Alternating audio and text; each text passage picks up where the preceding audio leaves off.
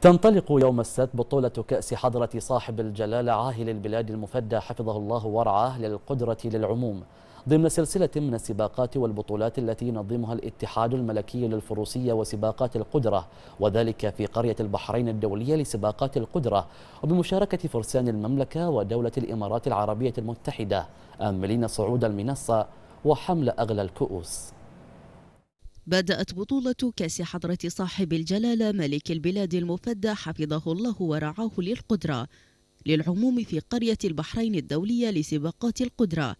هذه البطولة التي دائما ما تحظى بالاهتمام والتنظيم الخاص والإعداد المبكر والتي تحمل الاسم الغالي على قلوب الجميع وتشهد تنافسا محموما بين فرسان البحرين والإمارات والدول الأخرى الذين يمتلكون خبرات عالية في رياضة القدرة. هذه البطولة تأتي في منتصف الموسم من كل عام. ضمن سلسلة من السباقات والبطولات التي ينظمها الاتحاد الملكي للفروسية وسباقات القدرة.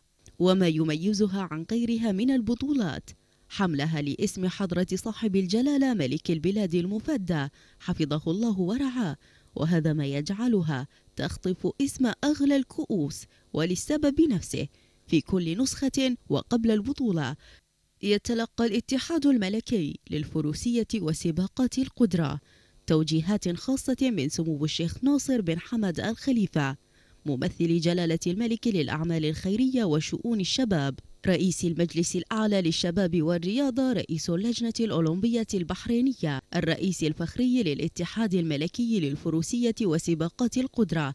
يحثهم فيها على بذل أقصى درجات الاستعداد التي تليق بمستوى هذا الحدث الرياضي الكبير الذي يعطي الفرق والإسطبلات الرغبة الحقيقية والطموح القوي من أجل الفوز والصعود على منصات التتويج ويشعل قوة المنافسة. هذا الكأس الغالي. منذ أول نسخة له. في عام 2002 كان ولا يزال يحظى بدعم كبير من لودن الفارس الأول والداعم الأكبر لرياضة الفروسية في مملكة البحرين.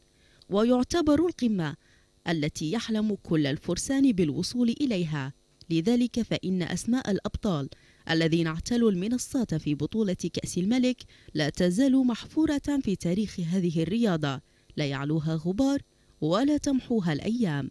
وفي هذا الصدد فقد استطاع فرسان مملكة البحرين أن يحصدوا تسعة ألقاب من ضمن خمسة عشر بطولة تحمل هذا الاسم الغالي وكان المركز الأول في أول نسخة من هذه البطولة من نصيب سمو الشيخ خالد بن حمد الخليفة في فئة العموم عام 2002 وكررها سموه في عام 2010 وفي عام 2004 فاز باللقب سمو الشيخ فيصل بن راشد الخليفة وفي عام 2007 فاز باللقب الفارس جبر الدهسري والفارس عيسى عبد الله في 2011 والفارس يعقوب يوسف في 2012 والفارس رائد محمود في 2014 أما في عامي 2015 و2016 فقد كانت من نصيب الفارس فهد هلال الخاطري أما من الجانب الإماراتي فقد تمكن الفرسان الأشقاء من دولة الإمارات العربية المتحدة من انتزاع اللقب في ست نسخ متفرقة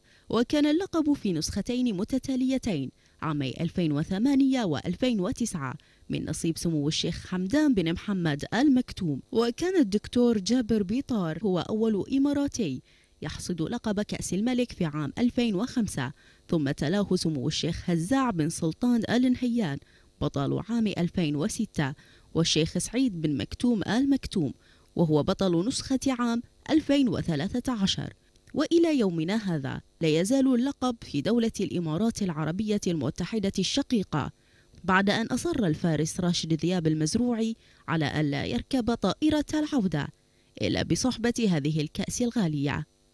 إنجازات كبيرة تتحقق على المستوى العالمي بفضل الرعاية الملكية الفائقة التي تحظى بها رياضة القدرة من قبل جلالة الملك المفدى مؤكدا حرص الاتحاد الملكي للفروسية وسباقات القدرة على توفير المناخات المناسبة لإنجاح هذا السباق والخروج بالأهداف الفنية الذي وجد من أجلها في تطوير رياضة القدرة في مملكة البحرين.